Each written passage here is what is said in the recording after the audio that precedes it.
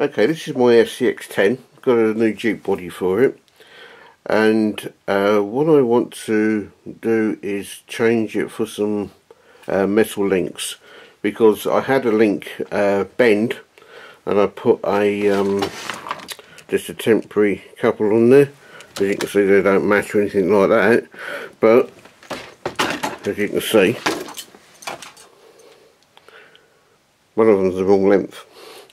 So we've got some uh, proper ones that are meant for the SCX10 and hopefully I can sort that problem out.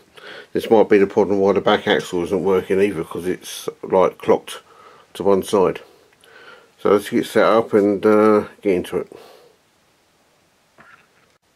Just a quick side note here. Never buy a cheap body off of Wish because they get delivered and I'm not kidding here in a black bin bag and the postman puts elastic bands around it and no matter how much I try I cannot get the uh, crease just out of there. A few of them have come out. I mean there's a big one there. Uh, this side is okay but it was about £8 it's um, like UK sterling uh, so because it didn't have any window mask with it and things like that.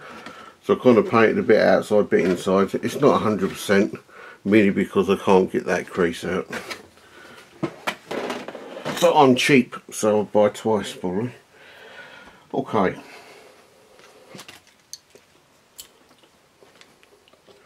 This here is the link that I put on which is too long so I've got these new ones so I'm just going to replace those.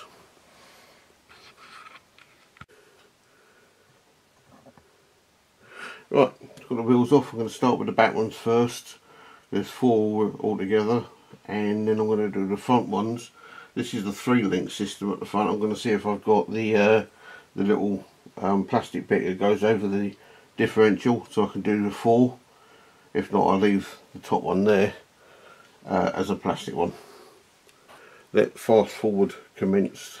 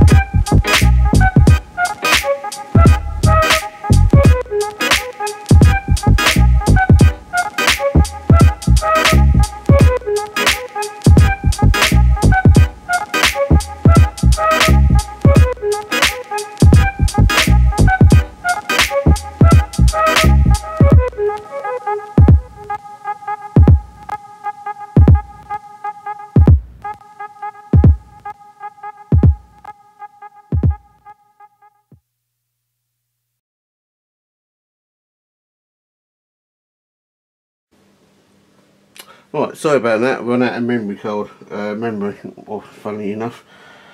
So, that's all the uh, the metal links and stuff like that on. Think about. There we go. That's all the links. Um, I put the four on the back, but I've only done two at the front because I can't find the uh, the adapter to put the two links on the front here so when I find that I'll put that on. And uh, yeah that's about it. Kind of lines up still do, still not 100% so but this is just a a shell I was practicing painting with and things like that. Well, anyway thanks for watching Wheels RC and I'll see you next time. Cheers bye